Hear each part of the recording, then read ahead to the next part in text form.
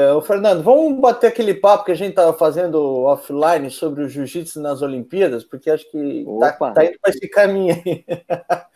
Conta para a turma aí que você já sabe, se é que pode falar tudo. Eu acho claro, que pode, né? Claro, sem problema. Como é que a gente tá? Vamos chegar nas Olimpíadas e de que forma que a gente vai chegar lá? Conta aí. Então, é, existe a federação da família Grace, é, IBJJF, né? E existe a JJIF, Jiu-Jitsu International Federation. Essa, essa federação, é, hoje em dia, o presidente dela é o grego, ela é baseada na Europa. Essa federação ela tem três modalidades: Fighting System, Dual System e Neoazá. O Neoazá é a cópia do jiu-jitsu brasileiro. Se você traduzir Neoazá, é luta de solo. Então, essa federação é que está ligada ao Comitê Olímpico Internacional. E por isso, e por estar ligado ao Comitê Olímpico Internacional, hoje em dia tem o apoio do Sheikh Tanum, que é do ADCC, né, o presidente, né, o chefe do da, da é o príncipe de Abu Dhabi, é o cara mais poderoso em Sim. termos de grappling hoje em dia. É, amigo pessoal do Renzo.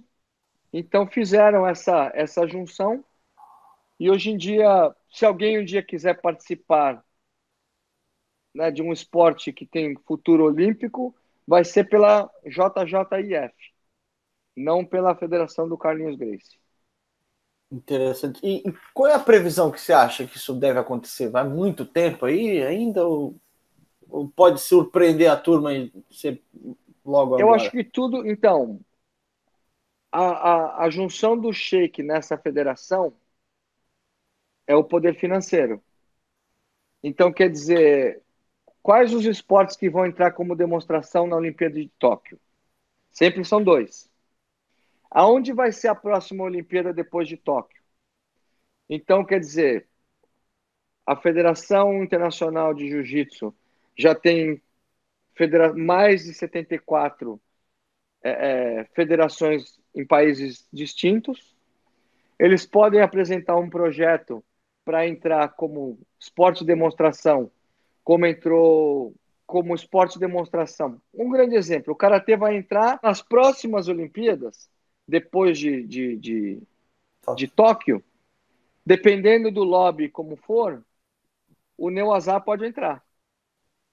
Quer dizer, só, só, traduzindo aí, Fernando, existe uma possibilidade, né? Depende de vários fatores, de num horizonte aí de 10 anos, né? Isso acontecer, né?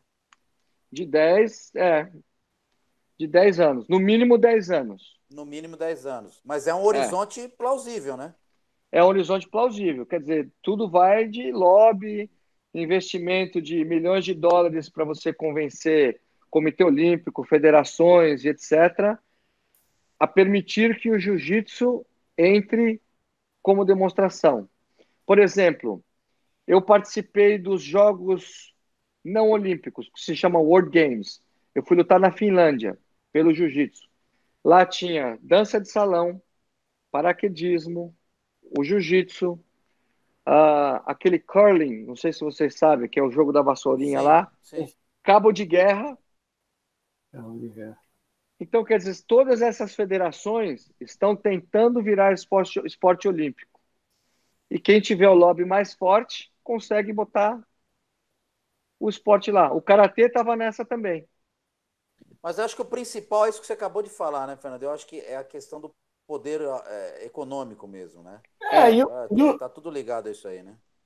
E eu acho que a grande vantagem do jiu-jitsu que é um esporte de jovem, como o skate, como o surf. Então eu acho que tem um apelo muito grande por essa razão. Então, quer dizer, a mídia social, né, a, os meios de comunicação que a gente usa, torna isso muito forte. É, o Sheik é um chefe de Estado, certo? Não é apenas um cara extremamente rico, é um chefe de Estado, tem outra conotação. Então, se é o caminho é esse mesmo. Eu imaginava que, que a outra federação não teria interesse, né? Não, porque é, é uma empresa, não é uma federação. Essa é a diferença. Uma federação, essa JJIF, sem fins lucrativos. Quer dizer, o dinheiro vai para a federação, tem que ter prestação de contas, todos os membros têm acesso, e através de reuniões o, a, a verba é destinada. Federação CBJJ, ou seja lá qual for, é uma empresa privada. É, eu vi Eles uma não prestam contas para ninguém. Eu vi uma entrevista do Royler Grace esses dias e ele falou assim: você, você professor que tem academia, você, você é funcionário da federação, você trabalha para a federação?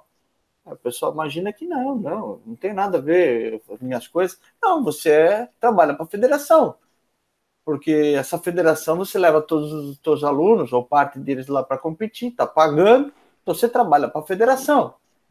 E uma federação não, não poderia ser assim, né?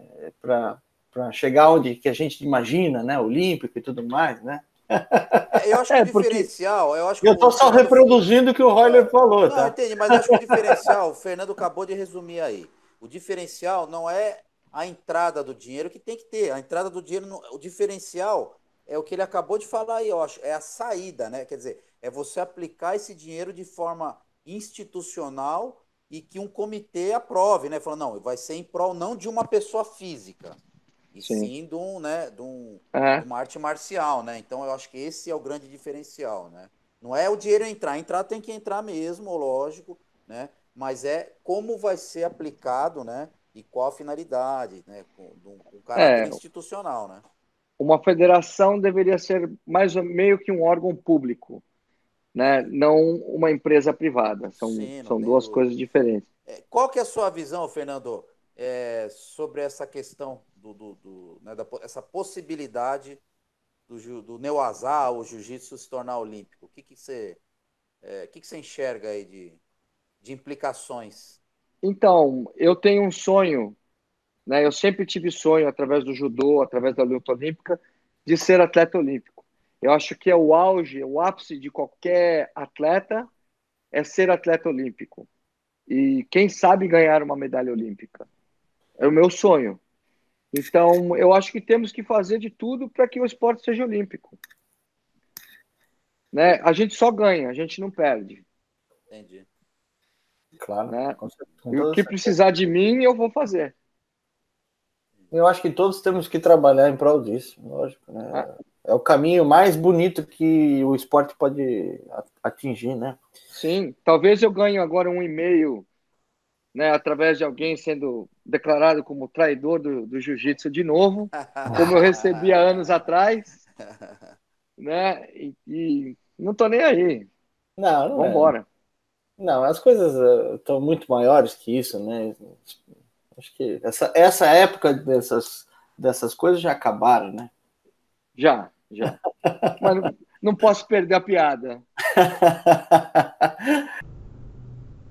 Fala pessoal, meu nome é Fábio Kiyotakawa, sou professor de Jiu-Jitsu, pesquisador da história do Jiu-Jitsu Vale Tudo MMA e também dirigi vários documentários sobre esse tema. Estou aqui para convidar vocês para participar do meu curso da história do Jiu-Jitsu e MMA. Você que é fã de artes marciais, é praticante e acha que é muito mais importante é, os aspectos filosóficos de transformação que a arte marcial pode trazer, esse curso é ideal para você. Entre em contato que eu tenho certeza que esse curso vai ajudar você a se transformar num artista marcial muito mais completo.